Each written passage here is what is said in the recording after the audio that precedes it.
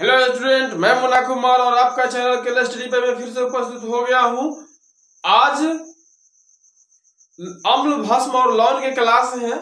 आज अम्ल भस्म और लौन के क्लास है। इससे पहले ऑक्सीडेशन के क्लास हो चुके हैं और कुल मिलाकर 26 वीडियो हो चुके हैं बाबू। तो आप पूरा का पूरा रिवीजन करो। पूरा का पूरा रिवीजन कर लीजिए। पीछे जाइए। प्ले लिस्ट इसका बन चुका है। उसमें जाइए। पूरा वीडियो देखिए बाबू। ताकि आपकी तैयारी संपूर्ण तैयारी हो सके। और एग्ज़ाम भी आने वाले हैं तो आपको पढ़ना बहुत ज़रूरी हो गया है। आप इधर उधर का टाइम मत गंवाइए और बेकार चीज़ों के पढ़ने में मत उलझिए। जो पॉलिटेक्निक में आता है, वो पढ़िए। जो पॉलिटेक्निक में एग्ज़ाम में सवाल आता है, वो पढ़िए। फालतू की चीज़ें कभी मत पढ़िए बाबू। कितना चैनल है कि पॉलिटेक्निक के नाम पर ये चीज़ पढ़ाता है, वो चीज़ पढ़ाता है। वैसे चीज़ों को पढ़ने से पहले बंद करो। सबसे पहले वैसे चीज़ों बंद करो पढ़ना। फालतू चीज़ें पढ़ने की ज़रूरत नहीं है। जो पॉलिटेक्निक में सिलेबस पूछता है, उसको उठा। हमारा सिलेबस न्यू सिलेबस है बाबू। उसको उठाइए जो सवाल करता है और सारे सवाल को पढ़ के जाइए। आपका हंड्रेड एंड टेन परसेंट आपका रिज़ल्ट इस साल रहेगा। श्योर मैं दावा के साथ कहता हूँ कि जो मांगे सो पढ़ो। फालतू के एक भी चीज़ मत पढ़ो, ठीक है? तो इस तरह से पच्चीस मेरे वीडियो हो चुके हैं, आप पूरे का पूरा रिवीजन कर लो, ठीक है? ताकि आपकी केमिस्ट्री पे क्लास केमिस्ट्री पे कमांड हो सके और मैथ का चौदह वीडियो हो चुका है तो मैथ का चौदहू वीडियो आप पढ़ लो, ताकि आपके मैथ और केमिस्ट्री का संपूर्ण तैयारी हो सके। और एक ज़रूरी बात बाबू, हम आपके लिए साढ़े आठ बजे शाम में, साढ़े आठ बजे शाम में लाइव क्लास लेने वाले हैं, जहाँ पे फिजिक्स और केमिस्ट्री के टेस्ट होंगे बाबू। जहाँ पे फिजिक्स और केमिस्ट्री के टेस्ट होंगे तो साढ़े आठ बजे वाला क्लास आप मिस मत करिएगा बाबू। ये बहुत ही जल्दी आपको पता चल जाएगा कि कब से शुरू किया जाएगा इसे। ठीक है? लेकिन ये टाइम बन चुके हैं, सारी चीज़ें तैयारी हो चुकी है तो साढ़े आठ बजे लाइव क्लास में लेने वाला हूँ आपका तो वहाँ पे भी ज़रूर आइएगा बाबू, ताकि आप जो पढ़ रहे हैं उसका रिवाइज कर ले। तो बाबू, शुरू करने से पहले मैं आपसे चाहता हूँ कि आप अगर चैनल पे नए हैं तो चैनल को सब्सक्राइब कर दीजिए और अगर रेगुलर हैं तो वीडियो को लाइक कर दीजिए बाबू, ठीक है? तो आइए शुरू करते हैं। कह रहा है, यहाँ देखिए, सबसे पहले अम्ल और लवण। पहले देखिए, अम्ल अम्ल के बारे में हम पढ़ते हैं। सबसे पहले किसके बारे में पढ़ते हैं? अम्ल के बारे में पढ़ते हैं। अम्ल के बारे में सबसे पहले पढ़ते हैं, ठीक है? अम्ल होता क्या है, उसके बारे में पढ़ते हैं। अम्ल वह पदार्थ है जो जल में घुल कर हाइड्रोजन आयन देता है। अम्ल वह पदार्थ है जो जल में घुलकर हाइड्रोजन आयन देता है, बाबू। जब पानी में अम्ल को घोलते हैं, जब पानी में अम्ल को घोलते हैं तो उसमें के उसमें अम्ल टूट कर, अम्ल टूट कर क्या देता है? हाइड्रोजन आयन देता है। यहाँ देखिए, यहाँ पे एच सी एल है, आप प्लस एच टू है तो इसको जल में इसको डिजल्व किया गया यहाँ पे, इसको घोला गया तो घोलने पर यह टूट कर कथी बना? एच एच पे प्लस वन यहाँ पे प्लस सी एल ठीक है? माइनस सी एल तो हमें ये चीज़ें जो है, अगर ये चीज़ें प्राप्त हो रही है तो हम कह सकते हैं कि वो बंदा कथी है। हाइड्रोजन जो दे रहा है वो अम्ल है ठीक है? जो आपको हाइड्रोजन आयन दे रहा है वो आ, क्या कहलाएगा? वह घोल क्या कहलाएगा? अम्ल कहलाएगा ठीक है? तो यही आर्हेनियस ने कहा था। आर्हेनियस ने कहा था कि वह पदार्थ जो जल में घुलकर हाइड्रोजन आयन दे दे वह पदार्थ जो जल में घुलकर हाइड्रोजन आयन दे दे उसे हम कथी कहते हैं? अम्ल कहते हैं। तो आर्हेनियस ने कहा था कि जब कोई पदार्थ अम्ल जल में घुलता है और वो हाइड्रोजन आयन देता है तो उसे हम अम्ल कहते हैं। बात क्लियर तक समझ लीजिए बाबू, उसे ही हम क्या कहते हैं? अम्ल कहते हैं। चलिए, बोनेस्टेड एवं बोर्नोस्टेड एवं वैज्ञानिक था बाबू। बोर्नेस्टेड, उसने भी ये बात कहा था, सुनिए क्या कहा था। अम्ल वह गुण, अम्ल वह अणु अथवा आयन है। अम्ल वह अणु अथवा आयन है। जो प्रोटॉन देने की क्षमता रखता है। अम्ल वह अणु अथवा आयन है जो प्रोटॉन देने की क्षमता रखता है। ये बोर्नस्टेड ने कहा था बाबू। ये बोरेस्टर ने कहा था। तो देखिए, अम्ल को जब तोड़ेंगे, इसको रिवर्सिबल रिएक्शन कहते हैं। इधर भी और इधर भी, इसको रिवर्सिबल रिएक्शन कहते हैं। ये देखिए, हाइड्रोजन आयन जो है, यहाँ पे प्रोटॉन है बाबू। अगर जो सब यूनिक क्षार है जो इसके साथ जुड़कर आते हैं। इसके उदाहरण देख लीजिए बाबू। ये है, ये छा, ये जो यहाँ पे है और यहाँ पे जो जो ये सब यूनिक क्षार प्लस हाइड्रोजन आयन जो प्रोटॉन है, यहाँ पे सब यूनिक क्षार प्लस हाइड्रोजन आयन जो जुड़कर यहाँ पे बनाया है तो इस नियम को बोर्नेस्टेड कहते हैं। बोर्नेस्टेड नियम एसिड कहते हैं, ठीक है? इस प्रकार के एसिड जो बनते हैं, इसको बोर्नेस्टेड एसिड कहते हैं। जैसे देखिए, इसको क्या कह सकते हैं? अमोनियम अमोनियम है ये। अमोनियम। तो अमोनियम ठीक है, आयन। तो जो होता है, इस तरह से आप कह सकते हैं। ठीक है? अब आ जाइए बाबू, अम्ल के बारे में पढ़ते हैं। अम्ल के गुण में कुछ बात जानते हैं। अम्ल नीले लिटमस पत्र को लाल कर देता है। अम्ल नीले लिटमस पत्र को लाल कर देता है।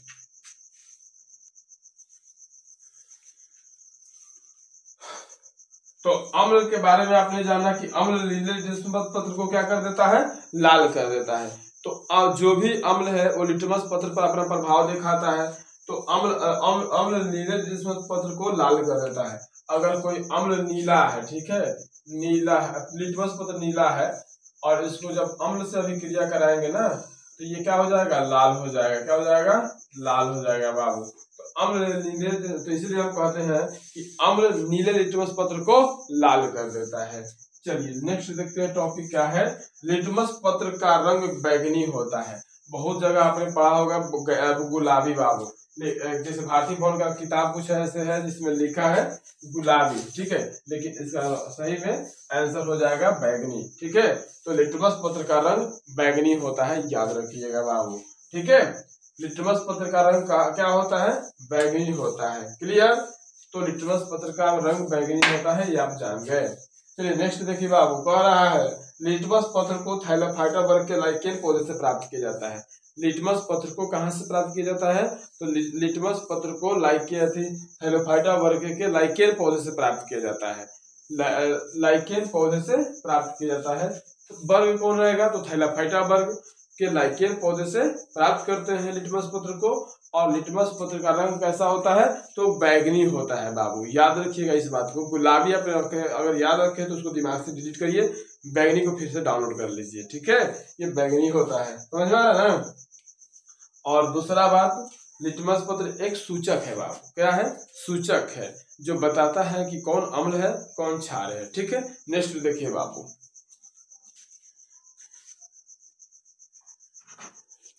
अब देखिए यहाँ पे। बात है अम्ल के गुण का, ठीक है? बात है अम्ल के गुण का।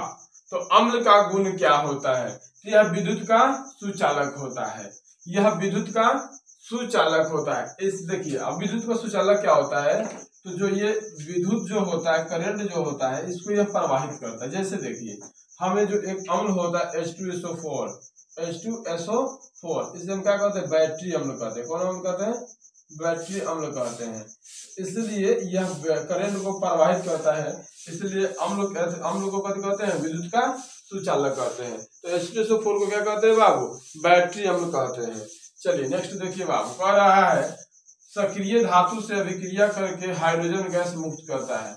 जब यह किसी धातु से अभिक्रिया करता है, जैसे मान लीजिए बाबू, यहाँ पे हम बात कर लेते हैं, जैसे यहाँ पे सक्रिय धातु की बात करते हैं। यहाँ पे sodium plus H C L का भी क्रिया कराएँगे तो कैसे बन जाएगा? एन एस सी एल आप प्लस एच टू बन जाएगा। बन जाएगा ना? तो यही है सक्रिय धातु है। सक्रिय धातु है। मैं सारी चीज़ें क्लियर कर दूँगा। कौन सक्रिय धातु है? सारे की सीरीज़ में पढ़ा दूँगा आपको। टेंशन लेने की ज़रूरत नहीं है। आप बस चैनल में बने रहो और वीडियो को लाइक करना मत भूलो। दबा के लाइक ठोको बाबू, और शेयर करो इसको, ठीक है? चैनल को शेयर करो। लाइक करो और सब्सक्राइब करवाओ इस चैनल को, ठीक है? चैनल जितना सब्सक्राइब होगा, उतना आपको बेस्ट और बेस्ट तरीका बताएँगे बाबू। चैनल को सब्सक्राइब करना मत भूलो। आपको इतना हीरो बना दूँगा केमिस्ट्री में कि आप जब जब एग्ज़ाम में बैठिएगा ना तो केमिस्ट्री बउआ लगेगा बउआ ठीक है? केमिस्ट्री आपको बउआ नहीं लगा तो मेरा नाम बदल दीजिएगा। तो यहाँ देखिए एच सी एल और एन एस सी एल का अभिक्रिया करा दिए। तो ये सक्रिय एक्टिव एलिमेंट एक्टिव मेटल है। एक्टिव एक्टिव मेटल है बाबू। ठीक है? यानी कि सक्रिय धातु है। और सक्रिय धातु अम्ल से अभिक्रिया कर दे तो कौन कैसे निकल गया? हाइड्रोजन गैस मुक्त हुआ। तो यही ना कह रहा है, सक्रिय धातु से अभिक्रिया कराने पर एच टू गैस मुक्त होता है। तो जब सक्रिय धातु से एच का अभिक्रिया कराया तो कभी बना? हाइड्रोजन गैस मुक्त हुआ कि नहीं हुआ? यही, ऐसे यही बात है। ठीक है? तो इसलिए पूरा का पूरा सपोर्ट करो बाबू। चैनल को सब्सक्राइब करना मत भूलो। ठीक है? यहाँ देखो। अम्ल धातु अम्ल धातु कार्बोनेट अभिक्रिया करके, अम्ल धातु कार्बोनेट अभिक्रिया करके CO2 गैस मुक्त करता है बाबू। कौन गैस मुक्त करता है? सीओ टू गैस मुक्त करता है। यहाँ देखो, अब चार नंबर देखोगे बाबू। अम्ल क्षार से अभिक्रिया करके, अम्ल क्षार से अभिक्रिया करके लवण देता है। अम्ल क्षार से अभिक्रिया करके लवण देता है, ठीक है? अब आप तो लव, अम्ल और क्षार के बारे में जानते हैं, आपको बताते हैं बात ठीक है? देखो। यहाँ देखो। यहाँ पे ये बाबू यहाँ पे मान लीजिए कि एच एच सी एल हो गया बाबू। आई हो गया एन ए ओ एच हो गया। ई है कथी है क्षार। आई है अम्ल ठीक है? तो जब यहाँ से यह अभिक्रिया कर लेगा तो बनेगा कथी? एन एस सी एल कथी बनेगा? एन एस सी एल आई H two O plus H two O जल बाहर हो जाएगा। तो ये लवण कहलाता है बाबू। कथी कहलाता है? लवण या भी जानते होंगे। कथी कहलाता है, लवण कहलाता है। तो अम्ल और क्षार अभिक्रिया प्रतिक्रिया तो कथी बना? लवण बना। हमें सभी को कैटेगरी बाई कैटेगरी पढ़ना है टेंशन लेने की ज़रूरत ना है। अम्ल का प्राकृतिक कथी संक्षारक होता है। ये अम्ल का प्राकृतिक जो होता है, संक्षारक होता है। संक्षारक कहने का मतलब किसी तरह का कड़वा आदि संचरण करना, ठीक है? किसी वस्तु का संचरण करना, जैसे अम्लीयता से क्या होता है? किसी में संचरण शुरू हो जाता है, जैसे पेट की अम्लीयता बढ़ जाता है तो हमें पेट में गैस बनने लगता है तो उसके लिए हम क्या खाते हैं? एंडासिड नामक एक दवा खाते हैं, जिसके कारण हमारे पेट का अम्लीयता कम हो जाता है। देखो, हमारे शरीर के आमाशय जो होता है, पेट जो होता है, आमाशय तो इसमें एच अम्ल पाया जाता है। ये जब हम कुछ कचरा पचरा खा लेते हैं तो हमारे शरीर के अंदर अम्लीयता बढ़ जाता है। ठीक है एच एच अम्ल की मात्रा अधिक हो जाती है, जिससे हमारा क्या हो जाता है? धुआँ ढककर चलने लगता है छाती में जलन महसूस होने लगता है, सांस लेने में भी जलन महसूस होने लगता है। तो हमें क्या खाते हैं? एंटासिड नामक एक गोली आता है, जिसको खाने से हमारा पेट की अम्लीयता खत्म हो जाता है। जब हम ब्रश करते हैं तो हमारे मुँह में क्या होता है? अम्ल होता है। तो हमारा पेस्ट जो होता है, टूथपेस्ट होता है, क्षारीय होता है, उसे ब्रश करने पर हमारा मुँह में से जो होता है, अम्लीयता खत्म हो जाता है और हमारा मुँह फिर से फ्रेश हो जाता है तो लवण की तरह बन जाता है, ठीक है? तो इन सारा तमाम चीज़ें जो होती है, और हम इनो क्यों पीते हैं सवाल करता है इनो क्यों पीते तो हमारे शरीर में अम्लीयता की मात्रा अधिक बढ़ जाता है तो हमें थोड़ा सा क्षार का ज़रूरत पड़ता है जिसके कारण हमारे पेट में भी गैस खत्म हो जाता है, इसीलिए हम इनो का उपयोग करते हैं। बात समझ में आ गया ना बाबू? तो ठीक है, जब समझ में आ गया तो हिमा देखो लाइक और लाइक और शेयर दबा के ठोको बाबू, ठीक है? हिवा देखो, कह रहा है, अम्ल स्वाद में खट्टा होता है। बात सही है बाबू, अम्ल स्वाद में कैसे होता है? खट्टा होता है। अम्ल स्वाद में खट्टा होता है। कैसे? अब जैसे आप आम खाए होंगे, नींबू खाए होंगे, सेव खाए होंगे, टमाटर खाए होंगे, दही खाए होंगे, इमली खाए होंगे, ये सब चीज़ कथी है। खट्टा है। ये सब कथी होता है बाबू? खट्टा है और ये अम्लीय पदार्थ है। मैं सब में कौन कौन अम्ल पाया जाएगा, सबको बताऊँगा, ठीक है? तो आइए यहाँ पे देखते रहिए बाबू। अब देखिए, यहाँ पे मैं कुछ पदार्थ ले लिया हूँ जो अम्ल जिसमें पाया जाता है, ठीक है? तो यहाँ पे पदार्थ है और यहाँ पे उपस्थिति है।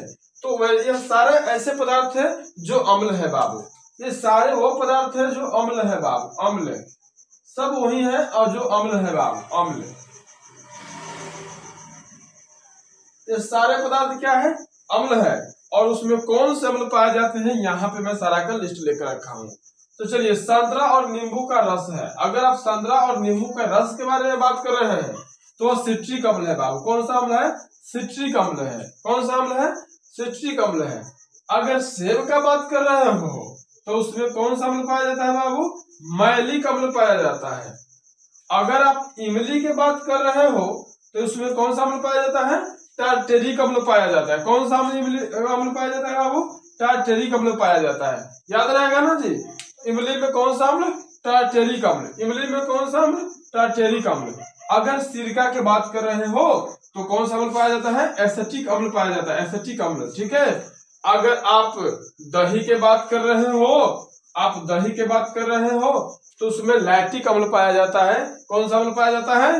लैक्टिक अम्ल पाया जाता है। अगर आप टमाटर की बात कर रहे हो तो उसमें ऑक्जेलिक अम्ल पाया जाता है। कौन सा अम्ल पाया जाता है? ऑक्जेलिक अम्ल पाया जाता है। अगर आप अमाशय हमारे पेट में कौन सा अम्ल पाया जाता है? एच सी एल हाइड्रोकोलरिक अम्ल पाया जाता है। कौन सा अम्ल? हाइड्रोकोलिक अम्ल एच सी एल पाया जाता है बाबू। और अगर आप विटामिन सी के बात कर रहे हो तो विटामिन सी में एस्कॉर्बिक अम्ल पाया जाता है। कौन सा अम्ल पाया जाता है? एस्कॉर्बिक अम्ल पाया जाता है। ठीक है? विटामिन सी में कौन सा अम्ल? एस्कॉर्बिक अम्ल पाया जाता है। ठीक है? याद रखना है। लाल चिट्टी लाल चिट्टी में कौन सा अम्ल पाया जाता है? तो लाल चिट्टी में फॉर्मिक अम्ल पाया जाता है। जो कोई आपको डसता है, जैसे क्या हुआ थे लाल चिट्टी हो गया, इसमें बिच्छू के डंक में, ये सब क्या पाया जाता है? फॉर्मिक अम्ल पाया जाता है। सोडा वाटर में कौन सा अम्ल पाया जाता है बाबू? तो कार्बोनिक अम्ल पाया जाता है। कौन सा अम्ल पाया जाता है? कार्बोनिक अम्ल पाया जाता है। सोडा वाटर में कौन सा अम्ल पाया जाता है बाबू?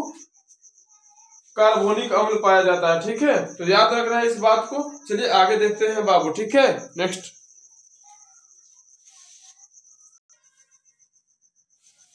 यहाँ देखिएगा, अब पढ़ लेते हैं हम क्षार। क्षार के बारे में पढ़ते हैं। तो छार क्या होता है? तो आर्हेनियस के अनुसार, किसके अनुसार? आर्हेनियस के अनुसार, आर्हेनियस के अनुसार क्षारक वह पदार्थ है जो जल में घुलकर ओएच आयन देता है हाइड्रोक्साइड आयन देता है बाबू। कौन देता है हाइड्रो ऑक्साइड आयन ओएच आयन देता है, उसे हम क्षार कहते हैं बाबू। क्षार क्या है? पहले सुनिए। क्षार क्या है? तो आर्हेनियस के अनुसार क्षार वह पदार्थ है जो जल में घुलकर हाइड्रोजन आयन देता है, क्षारक कहलाता है बाबू। ठीक है? आर्हेनियस के अनुसार क्षारक वह पदार्थ है जो जल में घुलकर हाइड्रोजन आयन देता है, क्षारक कहलाता है। अब यहाँ पे देखिएगा। NaOH NaOH जल में घोलेंगे बाबू तो ये क्या बन जाएगा? Sodium plus minus O H. Sodium क्या है? NaOH अगर जल में घुलता है तो sodium plus minus O H हो जाएगा बाबू। और के ओ एच है और प्लस एच टू ओ तो के प्लस है और पे माइनस हो जाएगा। तो इस तरह से हमें भी जो ओ एच आयन प्राप्त हो रहा है, जिसके चलते हमें दोनों काम क्या कर सकते हैं बाबू? क्षार कह सकते हैं। क्या कह सकते हैं? क्षार कह सकते हैं। इस दोनों का हम क्या कह सकते हैं? क्षार कह सकते हैं। तो जो भी पदार्थ जल में घुलकर OH आयन देगा हाइड्रो ऑक्साइड आयन देगा, उससे हम कथी कहेंगे? क्षार कहेंगे। क्या देना चाहिए उसको? OH आयन देना चाहिए बाबू, ठीक है? अगर वो OH आयन दे सकता है तो उसे हम क्या कहेंगे? क्षार कहेंगे, ठीक है? अब देखिए, यहाँ पे एक बोर्नेस्टेड नामक वैज्ञानिक में बोर्नेस्टेड बोर नोस्टेड, ठीक है? ये बोर्नेस्टेड नामक वैज्ञानिक जो हुए, उन्होंने कहा कि क्षारक वह अणु है, क्षारक वह अणु या आयन है जो प्रोटॉन लेने की क्षमता रखता है। अगर यह अम्ल होता तो प्रोटॉन देने की क्षमता रखता, लेकिन यह कथी है? क्षारक है। तो क्षारक है तो यह देने की क्षमता नहीं, लेने की क्षमता रखता है बाबू।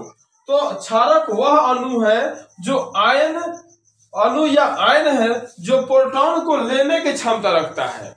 क्षारक वह अणु या आयन है जो प्रोटॉन को लेने की क्षमता रखता है बोर्नेस्टर के अनुसार। ठीक है? तो यहाँ देखिएगा बाबू, क्षारक है और यह कथी है? इरिवर्सिबल रिएक्शन है और यहाँ पे कह रहा है यूमिक अम्ल होना चाहिए। अब यहाँ देखिए, ये अमोनिया प्लस हाइड्रोजन एगो क्षार, और यहाँ पे देखिए, ले रहा है कि नहीं प्रोटॉन? तब जाके अमोनियम अमोनियम बन रहा है। यहाँ पे देखिए minus O H plus hydrogen दे रहे हैं, यानी कि तब जाकर बन रहा है। एच टू ओ बन रहा है बाबू। अब देखिए, ये बात पढ़ लीजिए बाबू। कह रहा है, क्षार लाल लिटमस पत्र को नीला कर देता है। क्षार लाल लिटमस पत्र को नीला कर देता है। जैसे अम्ल का प्रभाव था कि वो नीले लिटमस पत्र को लाल कर देता है। वैसा ही ये जो होता है क्षार जो होता है बाबू, लाल लिटमस पत्र को नीला कर देता है, ठीक है? तो याद रखना बाबू, अम्ल क्या होता है, लाल लिटमस पत्र को नीला कर देता है, ठीक है? क्षार क्या होता है, अम्ल क्षार क्या होता है, लाल लिटमस पत्र को नीला कर देता है बाबू, ठीक है? याद रखोगे इस बात को? चलिए, अब क्षार के हम गुण पढ़ लेते हैं। तो क्षार विद्युत का क्या होता है? सुचालक होता है। क्षार विद्युत का चालक होते हैं, ठीक है? यहाँ पे भी लिखा है क्षार विद्युत का चालक होते हैं बाबू, ठीक है? अब सुनिए दूसरा। क्षार अम्ल से विक्रिया करके लवण तथा जल देते तो आप जानते हैं कि क्षार अम्ल से विक्रिया करेगा तो लवण और जल देगा। जैसे ही आप देख ना लीजिए, पहले भी पहले भी देखा, अभी भी देख लीजिए, यहाँ पे ये क्षार है बाबू, मान लीजिए कि यहाँ पे एच सी एल है एच सी एल है, अम्ल है आई N O N N O H है तो ये अम्ल है तो इससे अभिक्रिया करता है तो कभी बनता है, लवण बनता है ना? अभी तो बताए ठीक है पहले, आप प्लस एच टू ओ तो लवण बना कि नहीं बना? यहाँ देखिए, यहाँ पे क्या होता है, जल में जल में विलय क्षार को, हम क्षारक को क्षार कहते हैं। जल में विलय क्षार क्षार को क्षारक कहते हैं बाबू, ठीक है? इसको नेक्स्ट टॉपिक एक गो और देख लीजिए, छोटा सा टॉपिक है बाबू, एक लाइन का। अब यहाँ देखिए, एक एक वर्ड्स लिखा है बाबू यहाँ पे, जो सभी क्षार भस्म होते हैं, सभी क्षार भस्म होते हैं, परंतु सभी भस्म क्षार नहीं होते हैं, सभी भस्म क्षार होते हैं। सॉरी सभी क्षार भस्म होते हैं, परंतु सभी भस्म क्षार नहीं होते। जो भी क्षार है, वो भस्म होता है, लेकिन जो क्षार है, ज़रूरी नहीं कि वो भस्म हो जाए। ठीक है? ज़रूरी नहीं कि वो भस्म हो जाए, क्यों? क्योंकि जो भस्म जल में घुलता है, उसी को हम क्या कहते हैं? क्षार कहते हैं। तो सभी नहीं घुल पाते होंगे, चाहे नहीं घुलते हैं, जिसके कारण सभी भस्म क्षार नहीं कहलाते हैं। सभी भस्म छार नहीं कहलाते हैं, परंतु सभी छार भस्म होते हैं। इस बात को दिमाग में रखना है बाबू, कि जो जल में घुल जाए, जो जल में घुल जाए, जो भस्म जल में घुल जाता है, उसी को हम क्षार कहते हैं। जो भस्म जो भस्म भस्म, यहाँ से देखिए बाबू, जो भस्म जल में घुल जाए जल में घुल जाए। ठीक है? उसे ही हम क्षार कहते हैं। उसे हम उसे हम क्षार कहते हैं बाबू। क्या कहते हैं? उसे हम क्षार कहते हैं क्षार जो अम्ल, जो भस्म जल में घुल जाता है, जो भस्म जल में घुल जाता है, उसे हम क्या कहते हैं? क्षार कहते हैं। ठीक है? तो यहाँ आपने देखा कि यहाँ अम्ल और भस्म के जो सारे पॉइंट्स थे हम आपको क्लियर कर दिए। ठीक है? तो आपको अगर नेक्स्ट टॉपिक में देखना है तो इसके लिए आपको चैनल को सब्सक्राइब करिए। और आज के लिए बस इतना ही। मिलते हैं अगले वीडियो में, ठीक है? तब तक चैनल को सब्सक्राइब करिए और देखते रहिए पीछे के वीडियो